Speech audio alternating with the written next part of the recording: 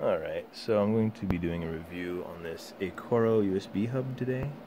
It's a USB 3, uh, so we're going to check to see if we get some good speeds out of it. I'm just going to run a test here on a regular drive um, without the, the hub first.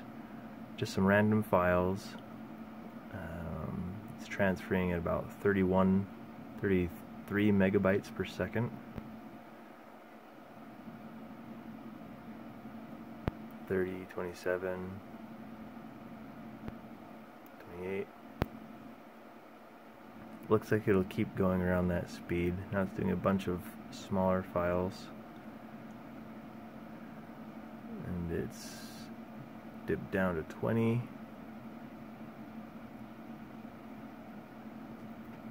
Just gonna pause it so we can let this zoom ahead a little bit. Okay, so it's dipped down to about 10 megabytes a second.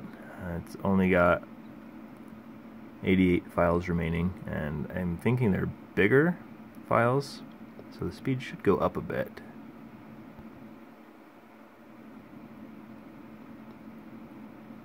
Which has a little bit. I'm going to stop it here and uh, we're going to plug in the hub and see if that does a better job now. Alright, so here we're going to go for the second round. We have the Achoro hub plugged in and the thumb drive-ins as well. I'm going to transfer, these are just a bunch of uh, Steam apps files um, for Ark, very large game.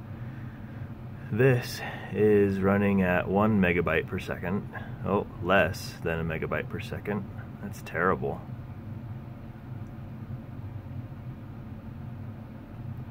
So for being a USB 3 hub, this is pretty terrible. Or we're getting 5 megabytes a second. If it happens to go up to anywhere between 10 and 30, then that'd be good. We're at 6 right now, that's not too bad.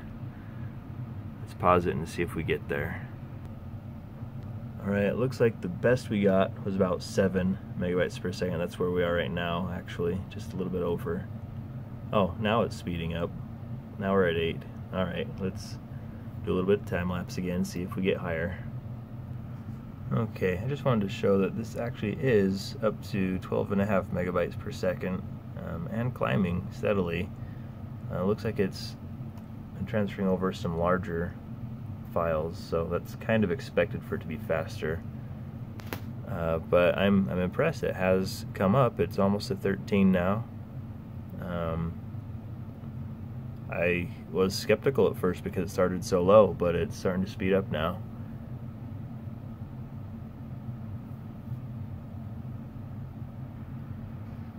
So 14 megabytes a second now. Um, for anyone wondering, that's it's around 100 megabits. Um, so what I'm going to do now is I'm going to actually plug this into the USB 2 port on my on my tower and see what kind of speeds we get from that just as a comparison. Okay, so now the drive is in the USB 2 port. Um, the hub actually won't work in the 2 it tried to install the driver, but it actually wouldn't work. So right off the bat, it started at 16. Now it's at 12 and 7. So we'll give this a minute and see how this one goes. Alright, so here we are a little bit more into it. It was at 14 megabytes for, for just a little bit there. It looks like it's hovering around 10 now, so it's a little bit slower, but these kind of speed changes or differences are, are not what I would expect between a 2.0 and a 3.0. Uh, so it's pretty safe to say that um, either the drivers need to be updated on this tower or something else is going on. But because the hub was performing at least as well as directly into the tower, I'm going to say that the hub works really well for that. Uh, I'm going to try updating the drivers and see if that helps the speeds out. Um, but from what I can tell, the hub works as good as the tower. So I am impressed with that. Um, my main purpose for this isn't for speed anyways, so uh, this is mainly going to be just a, uh, a peripheral hub to plug in a gaming peripheral. So, so this will work as I need it to, but I will have it plugged into the 3.0 port for better speeds, um, just in case I want to plug in a thumb drive.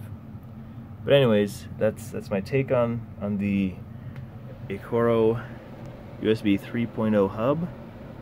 Um, just for a size comparison, there's my hand.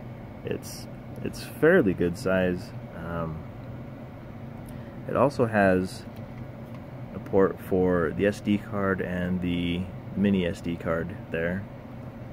And it also has a jack for a 5 volt power supply. Um, I guess if you want to charge things without having it plugged into a computer. But anyways, that's that's my take on this. I, I think this is a pretty good hub. And thanks for watching.